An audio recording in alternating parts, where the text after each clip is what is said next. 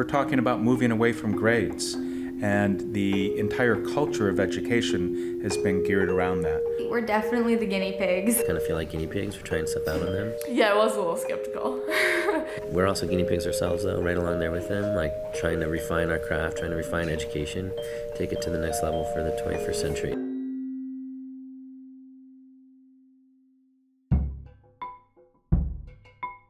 So I, I, would say it was about uh, 10 or 12 years ago when I was teaching an environmental science class, and uh, we had just ended a unit on climate change.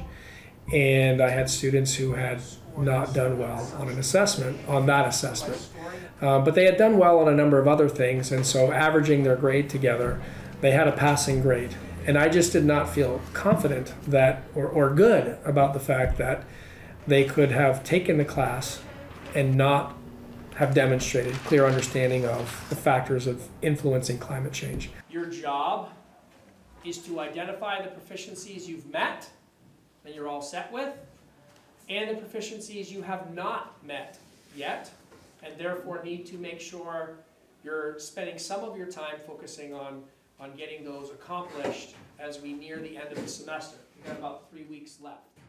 And so I didn't call it proficiency based, I just called it well you gotta you gotta learn the stuff that you're supposed to learn if you're going to receive credit for a particular class um, so we're making solar uh, water heaters and we're trying to focus the light on our container by making a reflective cone okay. This is a pretty significant paradigm shift for the student and for the parents, and I'm also going to throw in there still for a lot of teachers. It's it's not um, it's not what we're used to. And I think for every community, every school district, the state essentially has given um, those those school districts the ability to figure out what they think is proficient and what's important for the proficiencies. Teachers are learners too, um, and so we're, we're having to learn and operate at the same time. And until you're really comfortable, you're probably not feeling like you're doing it terribly well. So um, that may be some of the pushback that is coming from from teachers in general is is just the lack of comfort um, in really having a firm grip on proficiency based education and what that means.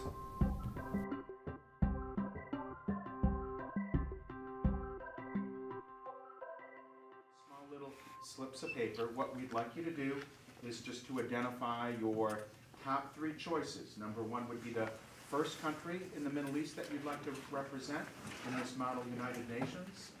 So, with the emergence of the proficiencies, it's been kind of tough on veteran teachers.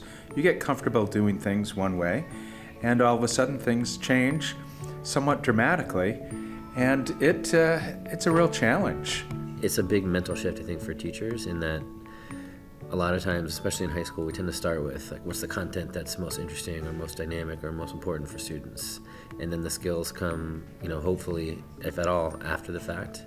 So this is just a total reversal of that. It's putting the skills first and foremost. What are the things that students need to be able to do in ninth grade, at the end of high school, in life in general, and then the content is just a vehicle to give students a practice.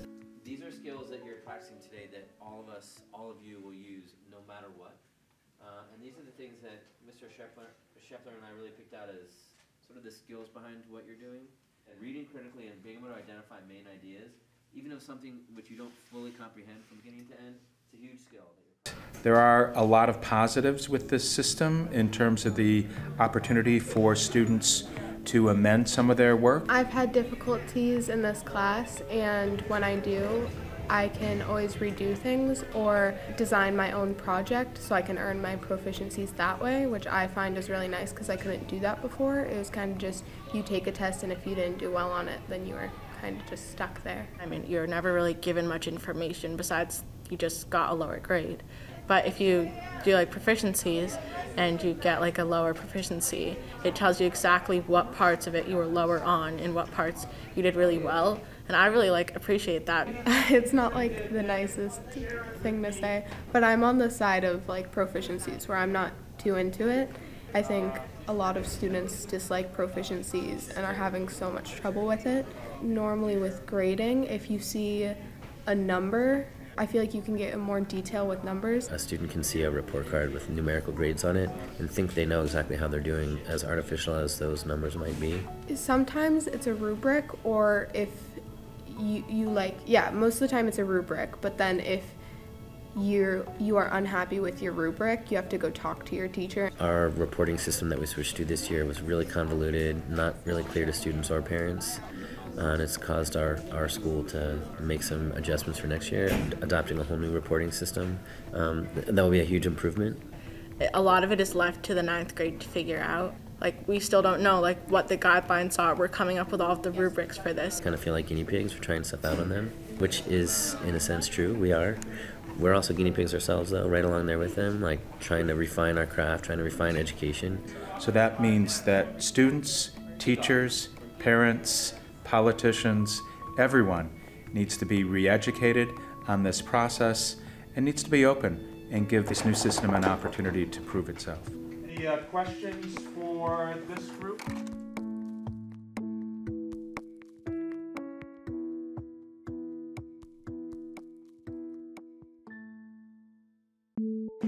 Historically, in math, people believe what they have to do is focus on that, you know, the grain size is really, really small, and all these different skills that you have to learn.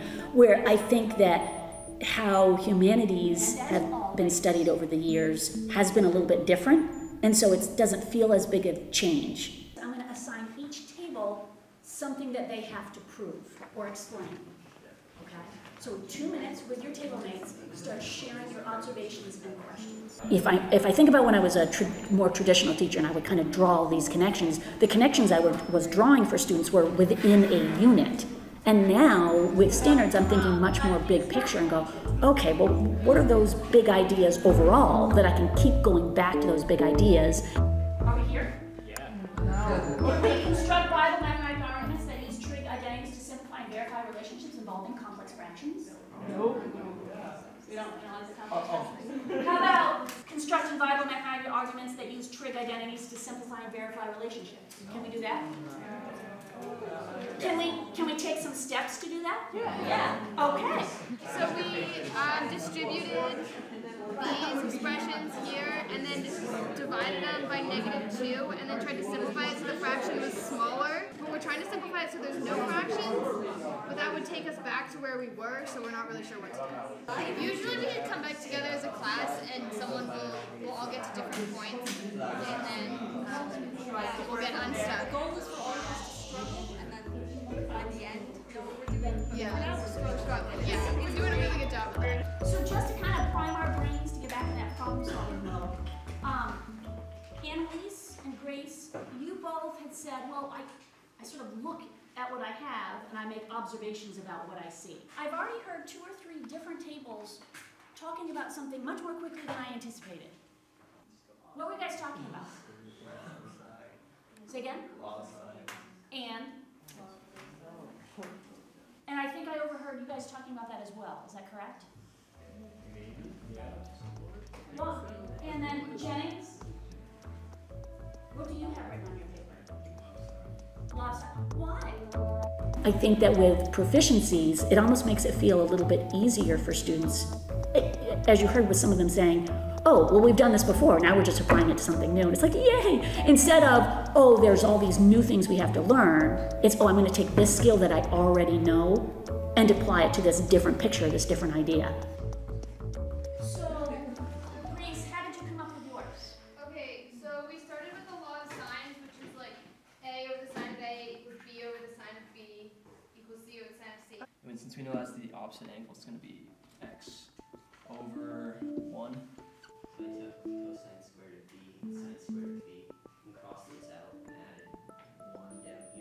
What you want is for the the um, absolute value to go up. For me, it's At this point, you get so much more information about what your learner has learned.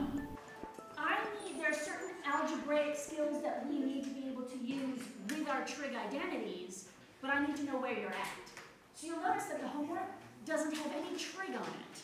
If I tell you you, you have a B plus in trig precal, what does that tell you? It tells you nothing. If I send you a bunch of information about, and it can be overwhelming to see all those, but oh, I'm sorry, you are having trouble with oblique triangles. You don't know how to apply those ideas.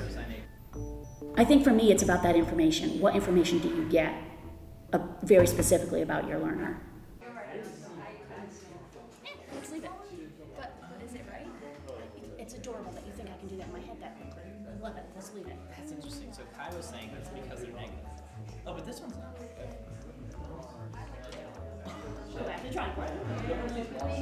I mean, certainly, you know, there, there's a lot of anxiety still about grades. You know, students have to apply to colleges, and colleges look at grades, and so how do we reconcile um, standards with grades? Um, you know, I almost had this like vision of this really big problem-solving target up on the wall, and like everyone's while going, okay, today, where are we at now? How does this task that we just did apply to that? Where are we feeling confident? What more?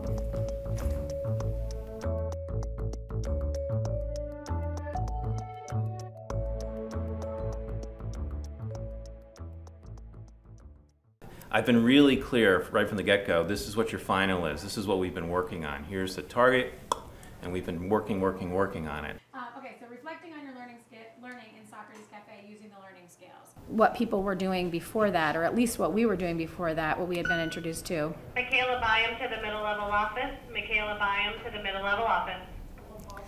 was understanding by design. And so it's similar in that you start with the end in mind and you design backwards. But in this case, you're really designing not just where you're going to end up content wise or even big idea wise, but where you're going to end up skill wise and then map backwards. What opportunities and experiences are you going to provide for students so that you can coach them to get all the way, you know, to proficient and beyond? So we do things called learning scales. I don't know if you know anything about them, but it pretty much goes from getting started, basic proficiency, proficient, and proficient with distinction. And then you just compare your work to the learning scale, and if you meet the criteria, you're proficient. we can think about like well what what is a good listener what is a good speaker but i also think that as it was a new class it was just a it was a clean slate where we could really work on proficiencies They don't they don't make the learning scale and just show it to you. It's like um, it's a discussion about what should be on the learning scale, what should be considered proficient. That for us has been key this year is including the students in the conversation right from the beginning. We showed them the scales, we put it so that they could edit and comment. Kate's really good at, well, what are the learning opportunities we can do so that by the time a student looks at the learning scale, they see, oh, I'm already on it. Just a real entry point, like an on ramp. And here's what you do next, and here's what you do next. And we were getting so much better, actually, or at least I was getting better at teaching all of the tiny little steps. Link evidence of why you, watch out, Ned behind you, um, why, you- why you're thinking where you are. Okay, so find evidence, and if you can't find any, you can ask, what are you using for evidence? Or you can call one of us over, okay? Step three, you're gonna get into an assigned pair, and we're gonna do this to just mix people up. We'll do it by number after, um, to talk about what did you, how did you evaluate yourself? Which one did you use? And then what did you use for evidence? And then the last piece is um, reconvening in the large group and sharing a little bit about, um, please describe one way in which you've grown in Socrates Cafe this year, okay? It's not like slapping. It's not like stuff slapping grades on stuff anymore. It's just it's a understanding based thing. Um, I am I'm the valedictorian for this class, and so yeah, like I would whip out worksheet after worksheet, and like sometimes it would just be like simple answers, like didn't even have to think about it much or like apply myself much, and they would just like stamp a 100 on it, and I wouldn't even know it the next day. Like sometimes I would have to look over it again for a test, but um, yeah, I'm not sure. Hmm. It's not really like you go in, you take a test, you know all the answers on the test, so forth. You understand it. It's actually presenting, saying, knowing in your mind what something is. Certain students that might normally struggle at the old system, like great, like for example, I know for a fact I don't do well on testing. You know, don't think of it as slapping a grade on something and being done. Think of it as assessing a student's understanding of the of the topic. you know in some ways i think one of the biggest challenges is a sort of reluctance to move in that direction I'm really thinking about the start of the year when it was first sort of being really implemented. And I remember, definitely including myself, everyone was very wary of it and very, well, I don't want to do this. This is stupid. It's going to destroy all the hard work I've done to get a GPA or like, what if I'm going to fail because on a learning scale, if I get a four, then it might be an 80. It needs to be equal for all students, and TESOL quizzes and certain things just don't sometimes work that way. It's hard to say because the learning scales, I don't know. Because you have to self assess on the learning skills, So you're thinking about what you're learning. Whereas before, I was just thinking that I knew it because I did it. Um, and there wasn't any self reflection. So now I have to be like, did I learn this? And I'm like, no, I need to learn it again. Like, I obviously didn't meet the proficiency. In Socrates Cafe, it feels more like we're working towards learning the skills rather than working towards having an outstanding GPA. Because I think there we feel as though if we have the right skills, then a good GPA will follow. Before Socrates Cafe, I didn't even realize that I was assuming things, and now it's something that I have really like present in my life. Like I really use it. Like when I'm uh, arguing with a friend or something, and it's like, okay, I'm right, but it's not that I'm right. It's maybe because I'm assuming something, and I think I'm right. So now that I know this, I try to calm myself uh, and like explain them. They could be grown to, or you know, trying to talk. So Socrates Cafe has really helped me with that. That something else is, I think, true understanding. And that when I say understanding, I mean that a student goes in, they know what the teacher's talking about, they know what the what the subject is and they know how to present it to other people. I think I'm just kind of excited that I've got a final exam. It's not a, a secret. It's not, you know, something where I'm gonna like I don't know, we grew up where you got tricked and you had to guess Yeah, what's the teacher yeah. gonna put on that exam and you study everything and memorize and here it's sort of like, okay, I know what I'm supposed to show 'em. And it's also you're saying to them, where are you? And Yeah. what are we gonna do to help you move forward? You're here the whole time for supporting and moving them forward. And I think that's also a, a difference. It's not like I'm telling you how you're doing. It's like, Yeah. you know, And we've been practicing it, you know, we'll give them examples. Like we do in, in Socrates Cafe, we practice, we give examples and let them play with it. It feels more similar to life or what I know of it because I think that things aren't just given a number. Not everything can be quantified. So I think having learning scales where you can sort of see where you are and work your way up it is a much more organic process and I think it's proficiency based is definitely moving in the right direction. I think it's just working out how we can move it.